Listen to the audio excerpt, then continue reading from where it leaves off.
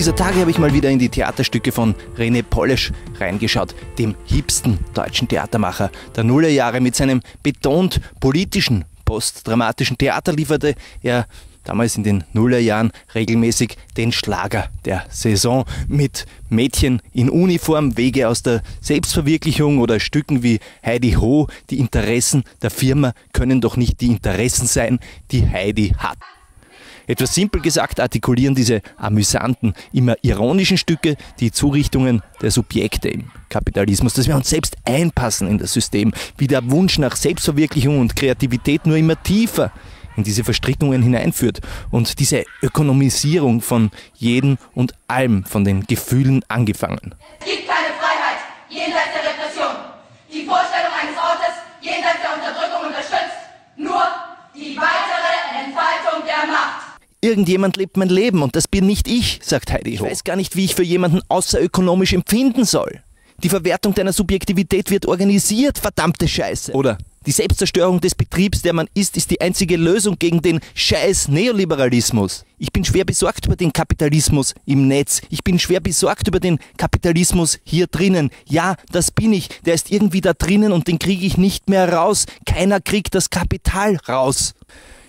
Und beim Nachgucken und Nachlesen von all dem, da kam mir der Gedanke, dass wir davon eigentlich schon Lichtjahre entfernt sind wieder. Ja, wir sind entfernt und auch nicht. Alles, was der Polish in diesen Stücken zur Sprache bringt, das existiert noch immer, unverändert. Klar, aber doch auch nicht. Das beschreibt Menschen, Subjekte in einem System, das ungemein erfolgreich ist, das eine große Landnahme vollbringt, eine äußere Landnahme. Jeder Winkel der Welt wird der Markt- und Warenwirtschaft untertan gemacht. Eine große Raumverdrängung aber auch eine innere Landnahme. Die Psyche, die Gefühle, die Wünsche, das ganze Leben und Empfinden wird untertan gemacht. Also es beschreibt ein ungemein erfolgreiches System. Eines, das siegreich bis zur Absurdität war. Und gerade dieser totale Sieg hat dann wieder Unbehagen in den Subjekten erzeugt, die dagegen revoltierten und sei es bloß durch Gekäppel, dass das doch nicht das ganze Leben sein kann, dieses Angeschlossensein an die große Produktionsmaschine. Und es war ja das Geraune exaltierter Minderheiten, die sich ja auch irgendwie avantgardistisch vorkommen konnten in ihrer Exaltiertheit, die sie ja auch von anderen abhob. Aber die allermeisten haben ja nicht gezweifelt am Kapitalismus und seine Wortführer,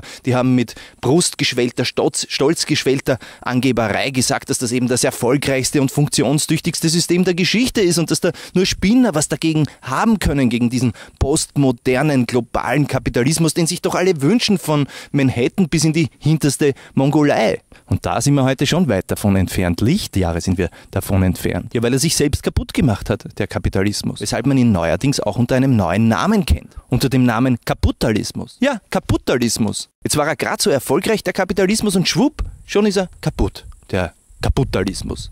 Und man könnte ihn natürlich reparieren vielleicht, aber das ist natürlich verdammt schwierig mit dem Kapitalismus, weil wenn ein Auto kaputt ist, na, dann fahre ich das zum Mechaniker und stelle es dort ab und der hebt es auf die Bühne und schaut drunter und dann repariert er es, das Auto. Aber den Kapitalismus, den kann man ja nicht abstellen, weil wenn man den mal abstellen würde, da wäre ja gleich kaputt. Also muss man ihn in voller Fahrt reparieren. Aber versuchen Sie das mal bei einem Auto. Sagen Sie Ihrem Beifahrer, du, du fährst einfach gerade weiter und ich kletter unter das Auto und versuch's zu reparieren. Aber pass mir auf die Schlaglöcher auf. Naja, zum Glück gibt es ja heutzutage keine Schlaglöcher. Schlaglöcher mehr, weil in der Zeit, wo er so ganz erfolgreich war, der Kapitalismus, hat man sie alle zugestopft, alle Schlaglöcher. Aber jetzt, jetzt mit dem Fiskalpakt gibt es jetzt kein Geld mehr für die Schlaglöcher, also die kommen wieder, die Schlaglöcher.